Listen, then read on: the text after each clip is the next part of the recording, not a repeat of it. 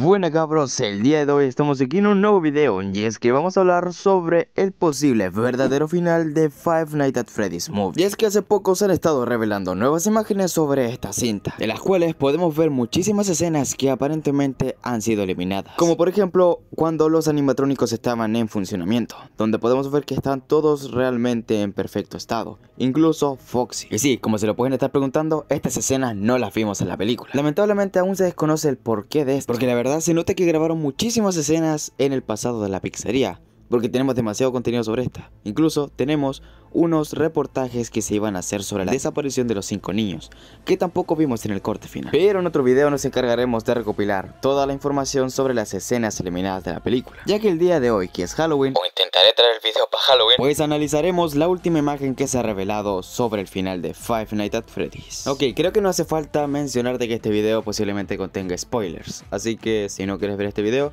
pues preocúpate de ver la película y ya luego vuelves. Ahora bien, nos enfocaremos en la escena donde llega por fin Springborn, donde se nos dio a entender de que con el traje se hace bastante fuerte. Se tiraba al pobre Mike por los cielos. Así que sí, era bastante obvio de que Mike no tendría muchas oportunidades de enfrentarse cuerpo a cuerpo contra él, ni siquiera con las armas, ya que Vanessa le disparó y al parecer mucho daño no le hizo. Además de que ya vimos cómo resultaron los dos, Vanessa apuñalada y Mike prácticamente lo dejó sin conocimiento. Pero bueno, después de todo lo que vimos, al parecer, se tenía en cuenta de que la pelea fuera mucho más extensa y mucho más fuerte de lo que vimos, ya que como podemos ver, Mike Smith tiene pues muchísimo daño. Y sí, teniendo eso en cuenta, al parecer la pelea iba a ser bastante grave, ya que como podemos ver, su ojo y toda su cara está sangrando. Pero al parecer tenemos una explicación de por qué no aparecieron estas escenas. Sabemos de que la película es para Peggy 13, por lo cual estaban demasiado limitados en lo que podía mostrar y lo que no podía mostrar, o incluso de tiempo, ya que no podían extender tanto la batalla final. Porque no sé si recuerdan, pero todos hablaban de que la película iba a durar 3 horas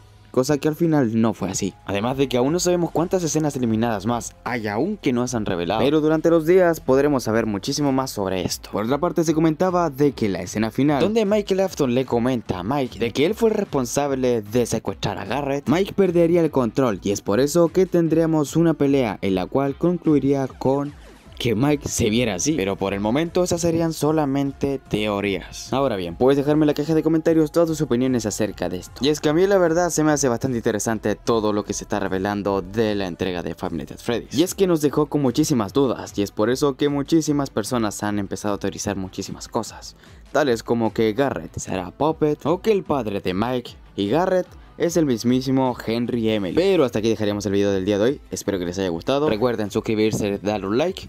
Y les deseo un feliz Halloween. Ojalá que reciban muchos dulces. Y esto ha sido Chunix. Y nos estaremos viendo bastante pronto.